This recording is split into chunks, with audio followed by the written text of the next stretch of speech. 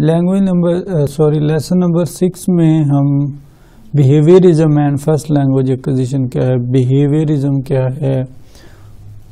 Behaviourist view language learning like any other kind of learning इसका मतलब है कि बिहेवियर uh, का मतलब रवैया आपका क्या है लर्निंग के बारे में? As a formation of habits ये हैबिट्स की फॉर्मेशन है काइंड्स है। मतलब आपका रवैया क्या है? जब आप दूसरी लैंग्वेज लर्न कर रहे होते हैं। That is creation of stimulus response pairing which become stronger with reinforcement जिसमें क्रिएशन होती है, हरकत होती है और रिस्पांस मिलता है और इसकी वजह से लैंग्वेज पे ग्रिप होती है। In case of first language learning the process is relatively simple as we have to learn a new set of habits अगर हम नेटिव लैंग्वेज की बात करें तो वो सिंपल वे है। उसको सीखना बहुत ईजी है। Second language learning involve replacing those habits by set of new ones और सेकंड लैंग्वेज ऐसे है कि अपनी हैबिट्स को चेंज करना है।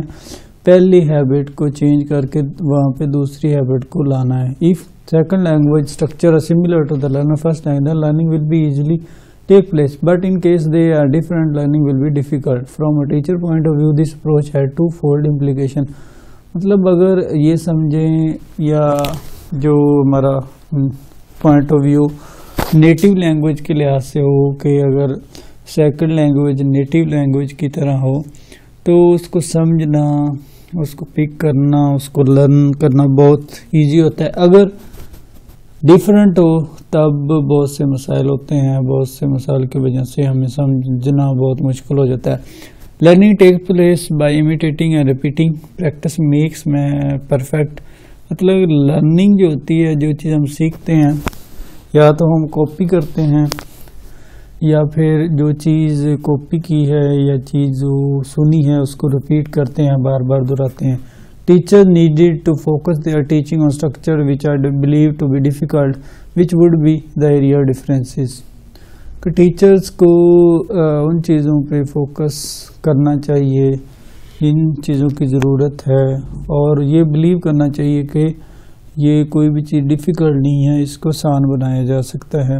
और किस एरिया में मुश्किल हैं, उसको कवर किया जाना चाहिए। There for researcher in bar on comparing pair of language term as a contrastive analysis मतलब रिसर्चर्स कंपेयर करते हैं डिफरेंट लैंग्वेज को पेयर्स मतलब दो लैंग्वेज का जो मजमू होता है या दो लैंग्वेज को कंबाइन करते in the late 1950 the linguistics shift from structure linguistic to generative linguistic 1915 में जो लिंग्विस्टिक्स थे, उन्होंने शिफ्ट किया, मुंतकिल किया। स्ट्रक्चर लिंग्विस्टिक से मतलब जो लैंग्वेज का स्ट्रक्चर है, उससे जनरेटिव लिंग्विस्टिक मतलब लैंग्वेज को बारे में जनरेशन होनी चाहिए न्यू चीज़ें डेवलप होनी चाहिए। इनिशिएटेड बाय नॉम चॉम्स्काई ये इस चीज़ का मुतारफ करवाने वाला जो शख्स था नाम चम्स का ही। In psychology to preeminent rule for the environment was losing ground in favour of developmentalist such as a मतलब इसमें वो कहना चाहता है कि डिफरेंट जो लिंग्विस्ट थे उन्होंने डिफरेंट पॉइंट ऑफ़ व्यू थे जिसमें नॉम चॉम्स का ही इसने आ, ये इस चीज़ में चेंजिंग लाई और कहा कि इसका स्ट्रक्चरल पॉइंट ऑफ़ व्यू से हट के जनरेटिव पॉइंट ऑफ़ व्यू होना चाहिए। इन 1970 कैलिमा एंड बेलोगी फोनस्टाई की similarity in the language behaviour of your children whatever the language they were learning मतलब इन जो लिंग्विस्टिक्स थे थीरिस्ट थे उन्होंने बिहेवियरिज्म जो बिहेवियर था, बच्चों का, बड़ों का, कि जिस तरह का भी बिहेवियर है, उनको लैंग्वेज लर्न करनी चाहिए। It showed that children all over the world go through similar studies stages के दुनिया में जितने भी बच्चे हैं, उनका जो लर्न करने का तरीका है स्टेज है सिमिलर है। You similar construction and make similar kind of errors के वो सिमिलर कंस्ट्रक्शन करते हैं सिमिलर तरीके से चीज़ों लैंग्वेज को बनाते हैं या उसका स्ट्रक्चर बनाते हैं और सिमिलर मतलब सिमिलर टाइप्स की मिस्टेक्स भी करते हैं। A consistent order of acquisition was indicated while studying English language structure के कंसिस्टेंसी होनी चाहिए जब आप एक्विजिशन कर रहे हो लैंग्वेज के बारे में जान रहे हों। Another important finding was that child language rule govern even if initially initially the rules they create do not respond to the adult ones.